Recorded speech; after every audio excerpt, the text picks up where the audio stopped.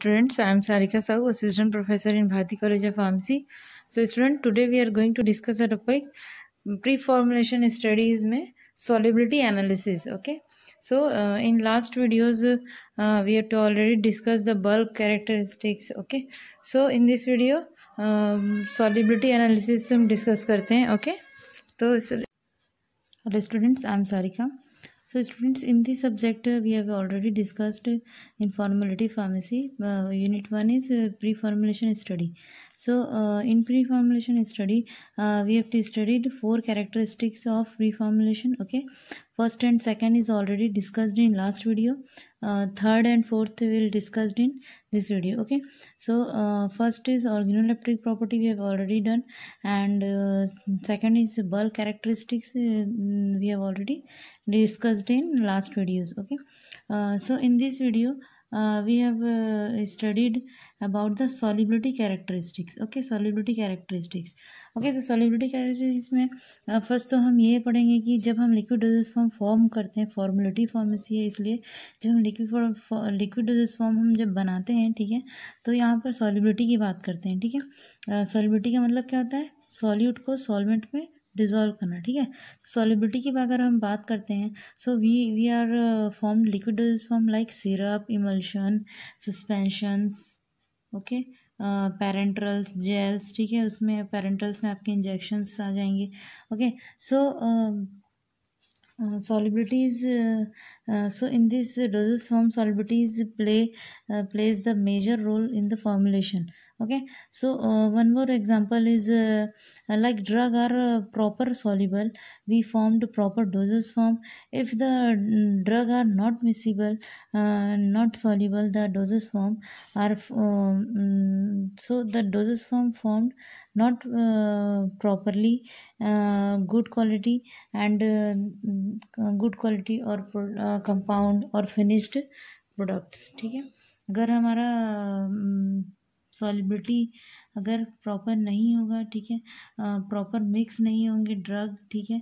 Proper नहीं होगा तो जो लास्ट जो फिनिश्ड प्रोडक्ट भी बनेगा भी गुड गुड क्वालिटी का नहीं बनेगा, ठीक है? नेक्स्ट अब हम देखते हैं some properties are characterize the solubility ठीक है? सॉलिबिलिटी के कुछ प्रॉपर्टीज़ हैं जो कैरेक्टराइज करते हैं। फ़र्स्ट हम अब इसमें पढ़ेंगे आयोनाइजेशन आय कॉन्स्टेंट ठीक है? फ़र्स्ट हम पढ़ेंगे आयोनाइजेशन कांस्टेंट ठीक है? आयोनाइजेशन कांस्टेंट को हम क्या बोलते हैं? पी के ए ठीक है? पी के ए डिसोसिएशन कांस्टेंट भी इसी को ही हम बोलते हैं। डिसोसिएशन का मतलब क्या होता है? टूटना, ठीक है? आयंस में टूटना, ठीक है? तो फ़र्स्ट हम इसके बारे में पढ़ते हैं, ठीक है? मान लीजिए कोई एक ड्रग है, ठीक है? ड्रग में हम यूज़ करते हैं हमारा नैनसीएल समझ लीजिए, ये ये ले लेते हैं, हम एन का एग्ज़ाम्पल ठीक है? तो एन जो है, वो स्ट्रॉन्ग इलेक्ट्रोलाइट है ओके देन तो जो स्ट्रॉन्ग इलेक्ट्रोलाइट एनएसीएल है, वो जब डिसोशिएट होगा तो they dissociate in N A plus and C L minus okay so ये क्या होगा? हंड्रेड परसेंट डिसोशिएट हो जाएगा, टूट जाएगा अपने आयंस में ओके okay? और पूरी तरीके से डिसोशिएट हो जाएगा, ख़त्म हो जाएगा, ठीक है? देन अब सेकेंड हम ये हमारे लिए बहुत इंपॉर्टेंट है, ठीक है? अब सेकेंड हम अगर बात करें, ठीक है? वीक इलेक्ट्रोलाइट की, ठीक है? तो वीक इलेक्ट्रोलाइट हमारा हो गया एसिटिक एसिड ओके इसको सी एच सी सी सी ओ एच को हम क्या बोलते हैं? एसिटिक एसिड ठीक है? अब ये जब डिसोशिएट होगा अपने आयंस में तो क्या होगा? This is a this this drug are weak electrolyte ठीक है? ये जो ड्रग है, ये क्या है? वीक इलेक्ट्रोलाइट है। So they do not dissociate hundred percent ठीक है? तो ये क्या होगा? ये हंड्रेड परसेंट डिसोशिएट नहीं होगा। ठीक है?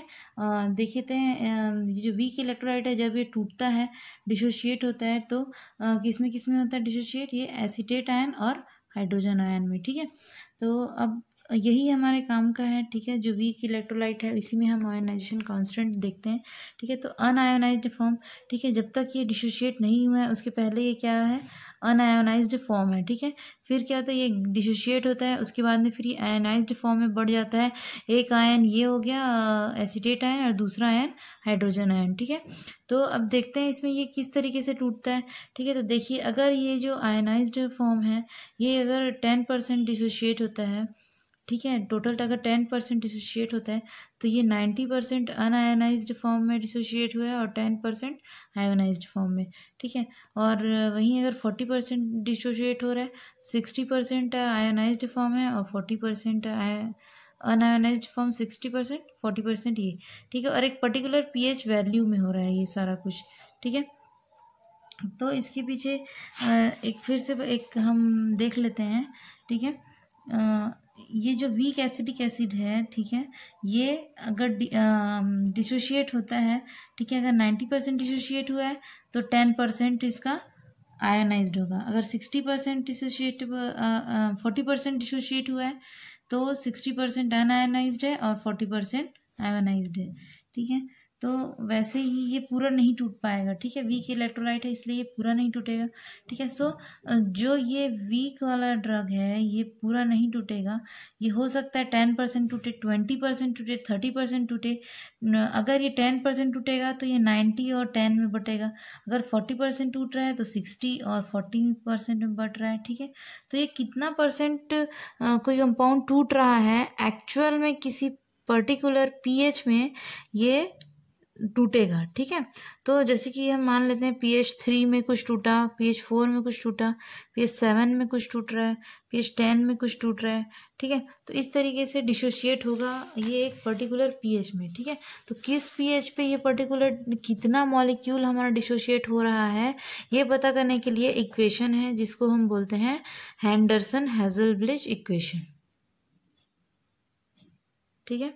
तो देखिए so this phenomena can find out with the help of the equation called as a Henderson Hasselbalch equation okay so इसमें क्या होता है? uh, इस इक्वेशन में अगर एसिडिक कंपाउंड का पता करना है तो उसका अलग तरीका है और बेसिक का पता करना है तो उसका अलग तरीका है ठीक है? नॉर्मली फॉर्मूले में थोड़ा सा अंतर है जैसे कि देखते हैं एसिडिक के लिए P H P K A P H equals to P K plus log unionized molar concentration of drug upon ionize molar concentration of drug okay और यही अगर बेसिक के लिए हमको पता करना है ठीक है? तो इसकी uh, इस इक्वेशन की हेल्प से um, हम किसी भी एसिडिक ड्रग का पी के वैल्यू निकाल सकते हैं, ठीक है? अगर हमको पी एच पता हो तो ठीक है? अगर पर्टिकुलर पी एच अगर हमको पता है तो उसको पी के वैल्यू इस फॉर्मूले में रखने से आराम से निकल जाएगा, ठीक है? देन बेसिक ड्रग के लिए अगर हम देखें तो P H equals to P K B बोल सकते हैं, ठीक है? P K B equals to P K B plus log ionize and upon unionize form ठीक है? आयोनाइज एंड अनआयोनाइज्ड फॉर्म इस तरीके से ये दोनों जो हैं पता कर सकते हैं हम। नेक्स्ट अगर हम देखते हैं ठीक है? अब हमको पता है इस इक्वेशन की क्या ज़रूरत है। मीन्स इस इक्वेशन से हम क्या आ, ये जो दो इक्वेशन हैं ठीक है? इस इक्वेशन से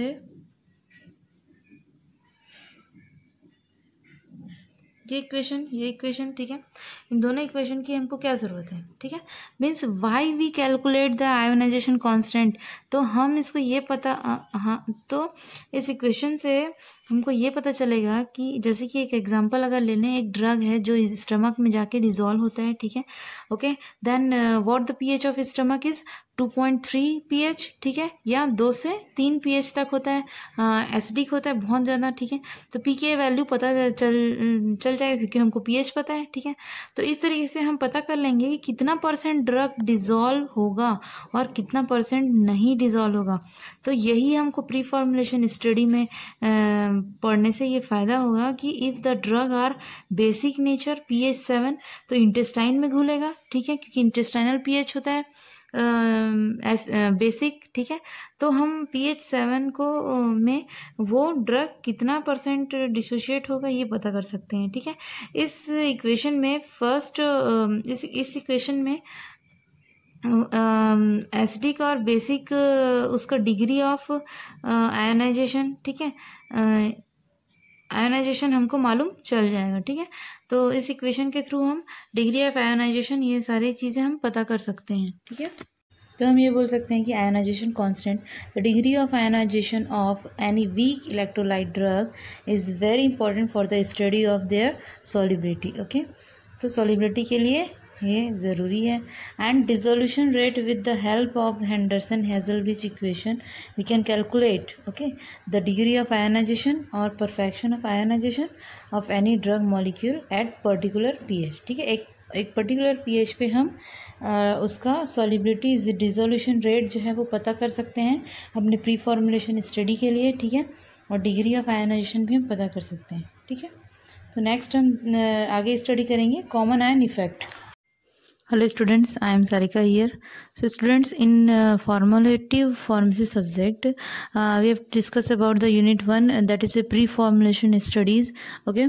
Uh, so we have to discuss uh, objectives goals okay and physiochemical properties जो है वो हम पढ़ रहे थे uh, um, study the four uh, characteristics okay first one is organoleptic that is uh, uh, already done okay and second is uh, bulk characteristics okay we have to already uh, discussed okay and third is uh, solubility analysis okay in solubility analysis property um, we have to discuss about the ionization constant in last video okay ph solubility profile in last video uh, common ion effects okay uh, यहाँ तक हम पढ़ चुके हैं अब we we have to start next parameter is that is thermal effect in third one is solubility analysis में ठीक है तो समझ में आ गया होगा हम अभी क्या पढ़ रहे हैं ठीक है सो फ़र्स्ट हम स्टार्ट करते हैं थर्मल इफ़ेक्ट ओके तो थर्मल इफ़ेक्ट जो है स्टूडेंट्स ये जो थर्मल इफ़ेक्ट है, ठीक है? इसमें क्या होता है, देखते हैं। समझ लीजिए, जब भी हम कोई सॉल्यूशन लेते हैं ड्रग पार्टिकल्स को घोलते हैं, ठीक है तो जब वो अगर नहीं डिज़ोल्व होता तो हम उसको क्या करते हैं थोड़ा सा वार्म करते हैं, गर्म करते हैं, ठीक है, फिर घोलने की कोशिश करते हैं, फिर भी नहीं घुलता तो हम उसको हीट देते हैं टेम्परेचर और बढ़ाते हैं, ठीक है। तो देखिए, यहाँ पे एक सॉल्यूट है सॉल्वेंट है, ठीक है। अब जो सॉल्यूट और सॉल्वेंट है, ठीक है तो फिर ये क्या बनता है? सॉल्यूशन बनता है सॉल्यूट और सॉल्वेंट मिलके सॉल्यूशन बनाते हैं, ठीक है? अब देखिए ये जो सॉल्यूशन है हमारा, इसमें हम ड्रग पार्टिकल्स को डिसॉल्व करते हैं ओके तो solute mix in solvent and give solution ठीक है? सॉल्यूट जो है वो सॉल्वेंट के साथ में मिक्स होके सॉल्यूशन बनता है। सॉल्यूट में आप समझ लीजिए नमक है, चीनी है, शक्कर है, ठीक है? और सॉल्वेंट में आप पानी ले लीजिए, ठीक है? तो जब इसको हम डिज़ोल्व करते हैं, ठीक है? तो ये घुलता है। लेकिन हमको और अच्छे से घुलना है तो हम थोड़ा सा गर्म करते हैं तो क्या होता है? पूरी तरीके से घूम, घुल जाते हैं डिज़ोल्व हो जाते हैं और होमोजीनियस मिक्सचर बनाते हैं, ठीक है? तो इसी में हम देखिए अगर आप शुगर को डिज़ोल्व करते हैं, गर्म पानी यूज़ करते हैं, जल्दी घुल जाता है, ठीक है? अगर आप चूने को गर्म करते हैं और आप और उसको हीट देते हैं तो चूने के पानी को क्या, चूने को जब डिज़ोल्व करते हैं तो क्या होता है वहाँ पर इफ़ेक्ट क्या होता है? आप बताइए। जो पीने का पानी है वो गर्म हो जाता है, ठीक है? अगर हम उसको और टेम्परेचर देंगे और उसको गर्म करेंगे, ठीक है? वार्म करेंगे तो क्या होगा? सॉलिबिलिटी उसकी डाउन हो जाएगी, ठीक है? वो घुलना बंद हो जाएगा, ठीक है? और अगर हम उसको टेम्परेचर नहीं देंगे तो वो ईज़िली घुलेगा। तो इससे हमको क्या समझ में आया कि दो कंडीशन होता है, एक चीनी का और एक चूने का, ठीक है? शुगर का और एक कैल्शियम कार्बोनेट का, ठीक है? तो ज़रूरी नहीं है कि हर बार गर्म करने से सॉल्यूट जल्दी घुल जाए, सॉल्वेंट में, ठीक है? तो हम ये सोचते हैं कि सॉल्ट है शुगर है सो गर्म करते हैं तो जल्दी घुल जाता है, ठीक है? तो वैसे ही चूने को हम गर्म करेंगे जल्दी घुलेगा, लेकिन ऐसा नहीं है, ठीक है? हर बार गर्म करने से सॉलिबिलिटी बढ़ जाए ये ज़रूरी नहीं है, ठीक है? सॉलिबिलिटी बढ़े ज़रूरी नहीं है गर्म करने से, ठीक है? तो अब देखते हैं हम सॉल्यूट जो है सॉल्वेंट में हम डिज़ोल्व करते हैं मिक्स करते हैं तो सॉल्यूशन मिलता है, ठीक है? तो अब ये जो है, वो दो टाइप का रिएक्शन प्रोवाइड करता है, ठीक है? एक तो है एंडोथर्मिक एंड एक्जोथर्मिक ओके तो एंडो का मतलब है अंदर, ठीक है? तो ये क्या करता है एनर्जी को एब्जॉर्ब करता है, ठीक है? तो इसमें क्या होता है कि पॉजिटिव एनर्जी पॉजिटिव से हम इसको डिनोट करते हैं, ठीक है? तो इसमें आपके आ जाएँगे शुगर एंड सॉल्ट के सॉल्यूशंस ठीक है? एब्जॉर्ब करता है ये एनर्जी को, ठीक है? That is endothermic okay then and second case we have to discuss solvent में घोलते हैं जब हम ड्रग को, ठीक है? तो क्या होता है कि एक्जोथर्मिक रिएक्शन होता है दैट इज़ नेगेटिव ठीक है? इसको नेगेटिव से डिनोट करते हैं तो एक्जोथर्मिक रिएक्शन होता है। उस केस में क्या होता है कि जो एनर्जी है वो रिलीज़ इन सिस्टम ठीक है? एनर्जी जो है रिलीज़ की जाती है सिस्टम में, ठीक है? तो इस तरीके से अगर हम देखें, चूने का पानी अगर देखें हम कैल्शियम कार्बोनेट तो क्या होता है, जैसे इसको हम वाटर में डालते हैं, वो क्या होता है, गर्म हो जाता है एकदम, ठीक है? तो वो क्या कर रहा है, अपने अंदर से गर्मी बाहर निकाल रहा है, ठीक है? मीन्स रिलीज़ कर रहा है सिस्टम में, ठीक है? तो इसको हम इस तरीके से बोल सकते हैं कि solubility is the thermodynamic process ठीक है? सॉलिबिलिटी एक थर्मोडाइनमिक प्रोसेस है, ठीक है? When any solute solute is dissolved into the solution solvent okay जब सॉलिबिलिटी क्या है? एक थर्मोडाइनिक प्रोसेस है। When any solute is dissolve in solvent ठीक है? सॉल्वेंट जब हम डिजॉल्व करते हैं then they formed the solution ठीक है? फिर क्या बनता है? सॉल्यूशन बनाता है। During the formulation of solution they release some energy और दे एब्जॉर्ब सम एनर्जी ठीक है? या तो रिलीज़ करेगा या तो एब्जॉर्ब करेगा ठीक है? तो ये दोनों क्या है? हीट ऑफ़ सॉल्यूशन ठीक है? हीट ऑफ़ सॉल्यूशन कहलाएँगे ठीक है? So accordingly the heat of solution ठीक है? It is a two types of process okay that is endo exothermic process okay? When the process is endothermic uh, then after increasing the heat okay uh, the solubility is increase ठीक है? तो हमारी solubility जो है वो increase हो रही है।